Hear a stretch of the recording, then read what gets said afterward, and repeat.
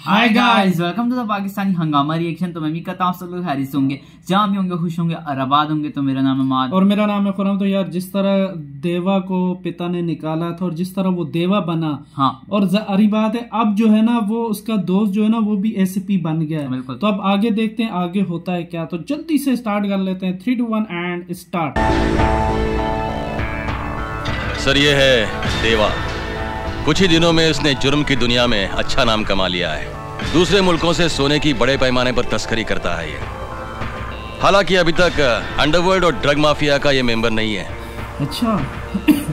और यार ये अच्छे भी काम करता है। हाँ। तभी तो ड्रग माफिया का हिस्सा नहीं सर ये जिंदाल है। वैसे तो ये कई इंडस्ट्रीज़ और फैक्ट्रीज का मालिक है मगर इसका असली धंधा है ड्रग्स का। और सर ये इंटरनेशनल ड्रग माफिया से भी जुड़ा हुआ है। और सर ये है लाल सिंह। अच्छा लाल लाल कंस्ट्रक्शन के नाम से इसकी बड़ी कंपनी है। इसने अपनी गुंडागर्दी की बदौलत कई जमीनों पर नाजायज कब्जा कर लिया है। अच्छा। नगर पालिका के कई अधिकारियों को अपने साथ लेकर सरकारी जमीनों पर भी इसने अपनी बिल्डिंगें खड़ी की है। पुलिस में इस पर काफ़ी मामले दर्ज हैं। सर ये खान। अंडरवर्ल्ड का बहुत बड़ा डॉन। ये- समझिए कि पैसों के लिए किसी को मार देना इसका पेशा है। इस पर कई नामी लोगों के हत्याओं के केसेस चल रहे हैं। ये जिंदाल और लाल सिंह के लिए काम करता है। अच्छा अच्छा अच्छा हम दोनों के लिए। मुझे अफसोस है सर कि पुलिस इनके खिलाफ अब तक कोई सबूत नहीं जुटा पाई है। हमें पूरा यकीन है सर। अगर इन चारों को काबू में कर लिया जाए तो शहर से क्राइम पूरी तरह से खत्म हो जाएगा। मुझे एक बात बताइए। जब आप लोगों को इतना सब कुछ मालूम है तो इन लोगों के खिलाफ एक्शन लेने में आपको प्रॉब्लम क्या है? प्रॉब्लम है, सर। अंदर के लोग मिले होते हैं। हाँ, और प्रॉब्लम है हमारा कानून। वो। अदालत की कार्रवाई में बहुत वक्त गुजर जाता है सर। और ये सब लोग अपने पैसों के बूते पर बड़े बड़े वकीलों को अपनी पैरवी के लिए खड़ा कर लेते हैं। ये तो ये तो अदालत तभी तो छूट इनकी गिरबान तक पहुँच नहीं पाती और केस कमज़ोर पड़ जाता है। I know what you want to say mister Saxena लेकिन इसका मतलब ये नहीं कि पुलिस हाथ पर हाथ रख कर बैठी रहे। बिल्कुल नहीं सर। पुलिस डिपार्टमेंट को भी कुछ करना चाहिए। लेकिन इसके लिए हमको खास अधिकार चाहिए sir. We need special powers हमारे पास ऐसे मैजिस्ट्रेट होने चाहिए जो रात को 12 बजे 1 बजे कभी भी इनके खिलाफ हमें वारंट दे। और हमारे पास खास हाँ, अधिकार होने चाहिए कि हम इन्हें जब चाहे हिरासत में ले लें और ज़रूरत पड़ने पर सच उगलवाने के लिए इन पर थर्ड डिग्री का भी इस्तेमाल कर सकें। दैट्स राइट मैं जानता हूँ आप जो कुछ भी कह रहे हैं वो बात सही है एकदम सही। लेकिन इस बात की क्या गारंटी है मिस्टर सक्सेना? कि अगर ये अधिकार पुलिस डिपार्टमेंट को दे दिए जाएँ तो पुलिस डिपार्टमेंट इन अधिकारों का मिसयूज नहीं करेगा। आ, जैसे सर। वो उसने पहले वाले ने की थी। अगर कोई भी शख्स लेकिन ये अच्छा इन अधिकारों का गलत इस्तेमाल करता हुआ पाया जाए उसको भी बख्शा नहीं जाए। वाह। वाह। उसके खिलाफ भी सख्त से सख्त कार्रवाई होनी चाहिए। ये ये बात ठीक बोली। मुझे तुम्हारा सुझाव अच्छा लगा मिस्टर ये सक्सेना अच्छी Thank you, अगर उसके खिलाफ भी कार्रवाई मैं अपना होगी decision तो कल शाम तक तुम्हें बताता misuse नहीं करेगा। Happy birthday to you. Happy Deepu. चलो चलो। कुछ खाने पीने का इंतज़ाम करते हैं। आकाश ये तेरे लिए। है।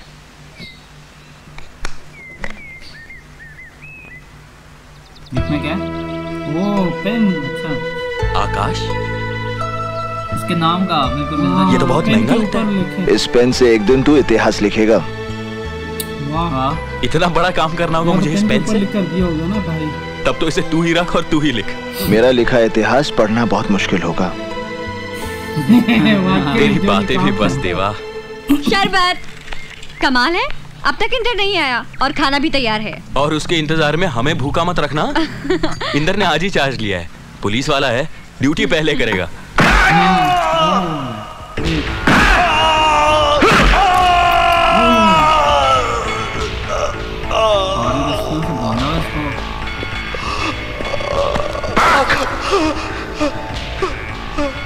क्यों रे? कितने पैसे मिले तुझे लाल से बस्ती खाली कराने के लिए? हाँ, ये लाल सिंह साहब मैं तो उधर कभी गया नहीं। मैं तो गोवा में था साहब। मैं तुझ जैसे गुंडों की जात बहुत अच्छी तरह से जानता हाथ नहीं लगाना साहब। कानून हम भी जानते हैं। मैं अच्छी तरह जानता हूँ तेरी आवाज़ इतनी कड़क क्यों है? क्यों? क्योंकि तू जानता है कि तेरे पीछे तेरा बाप लाल सिंह बैठा है। जो कानून के दलालों को खरीद कर तेरी जमानत करा देगा। हाँ तभी लेकिन अब वक्त बदल चुका है। इनको क्योंकि ऑर्डर मिल अपने आप को लाल की छतरी से अलग कर ले। क्योंकि अब इस शहर में मैं लाल जैसे लोगों की साथ ही खत्म कर दूँगा। हाँ। इस जैसा होना चाहिए। क्या बात है जुगानी साहब? एक्सरसाइज लाल भैया कर रहे हैं और पसीने आपको छूट रहे हैं। हैं? लगता है बहुत अच्छी खबर सुनाने वाले हैं आप। सुनाइए सुनाइए बहुत अच्छा मौका है। क्या अच्छी खबर है इस लाल को? लाल साहब लगता है वो कालीना वाली ज़मीन हमारे हाथ से निकल जाएगी। हाँ। क्योंकि लीगल तौर पर नाना भाई ट्रस्ट ने वो ज़मीन स्कूल बनाने के लिए ली थी। उन्हें कोर्ट से वकील स्टे भी मिल गया है। मैं उनके वकील से भी मिला उसे समझाया कि ये केस वो अपने हाथ में ना लें लेकिन वो सुनता ही नहीं ट्रस्ट के वकील ने कोर्ट से स्टे ले लिया और आप आपने क्या तीर मारा वकील साहब लाल साहब मैंने हर तरह से कोशिश की मगर हमारे लिए ये सौ करोड़ का खेल है और आप सिर्फ़ कोशिश में लगे आए वो एक मुक्के से वकील को मार दिया केस क्या है? क्या किया तुम लोगों ने? एक आदमी का खून। लाल सिंह से पंगा लेके तूने अच्छा नहीं किया।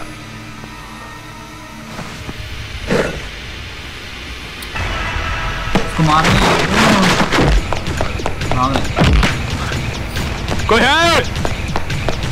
कोई है? बचाओ! कोई है?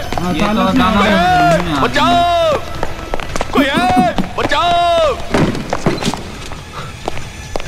कोई बंदा भी नहीं वही बचाने वाला। हाँ यहाँ पे तो कोई भी नहीं पुलिस पुलिस वाला। अरे चिल्ला क्या रहा है? वो भी इसके सामने। इसकी आँखों की पट्टी खोल देना तो सबसे पहले यही भागे यहाँ से।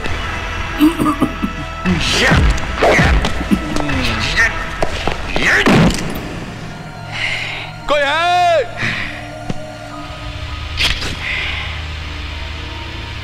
अरे जब नौ से पाँच यहाँ कोई नहीं सुनता तो पाँच के बाद कौन सुनेगा? ये! ओ ये कौन आ गई?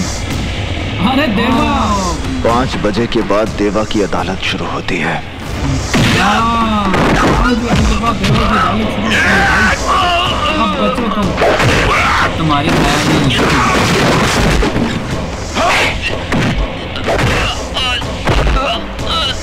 मार। यस साला। हाँ ना मारो ना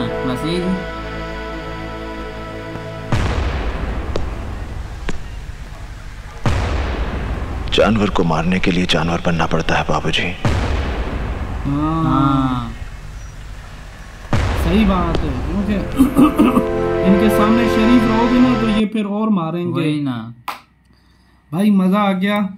यानी कि अब एससीपी इंदर सक्सेना ने जो है ना वो ले लिया है चार्ट ठीक है कि इनकी गुंडागर्दी खत्म करने के लिए क्योंकि जब इनको पकड़ा जाता है तो ज़ाहिर बात है ये वकील करवा के अपने आप को छुड़वा लेते हैं ज़ाहिर बात है इनकी इनकी पास इतनी ताकत होती है कि मतलब पैसे देते हैं और उस बंदे को हाँ हैं। मतलब ये छुड़वा लेते हाँ। हैं तो दूसरी तरफ़ से ये है कि मुख्यमंत्री जो है उसने दे दिया है हाँ। और एससीपी सक्सेना ने ये भी बोला है कि अगर जैसे वो पहले वाला था उस वो खाम खाम में दूसरे लोगों को वैसी मारता था। इसने हाँ। बोला अगर कोई थर्ड डिग्री में मिसयूज करे उसके खिलाफ भी केस करना चाहिए। तो ये सारी बात और देख जब उसको चार्ज मेरा उसने लाल सक्सेना के बंदे को कैसे पकड़ के मारा? वही उसको तो रस्सियों से पकड़ के सही उसकी सही ठुकाई कर रहे चार्ज थे। सही मार रहा था हाँ। उसको और दूसरे बंदे को कहता तुम मुझे पता है इसलिए बोल रहा है ना कि तेरे पीछे तेरा बाप बैठा और तुझे वो छुड़वा लेगा। सही चार्ज करता है और उधर से जो है ना यार सनी पाजी ने जो है ना अपने भाई को पिन के साथ दिया? यार उस पे उसके भाई का नाम भी लिखा हुआ था। वो कहते हैं कि तुम एक दिन इस पेन से इतिहास लिखोगे। इतिहास कहता हाँ। नहीं यार तू अच्छा लिखेगा। कहता है मेरा इतिहास लिखा हुआ कोई पढ़ नहीं सकता क्योंकि पता है देवा के क्या काम है। और ऊपर से उसके जो देवा के पिता है ना तो उसने भी लाल सिंह से पंगा ले लिया है और वो गुंडे मारने आए थे। तो वो- जैसे वो कोर्ट में भाग के जाता हाँ। कहता अबे यार इसकी अगर आँखों की पट्टी खोल दो तो सबसे पहले यही भागेगा। कहता है नौ से पाँच तक कोई नहीं है। हाँ। तो उसके बाद जो है ना वो होगा। तो ऊपर से देवा आ जाता है। कहता पाँच बजे के बाद देवा की अदालत शुरू होती है। वहाँ सही से तो फिर उनको सही ठुकाई करता है वही सही हाँ। होता है।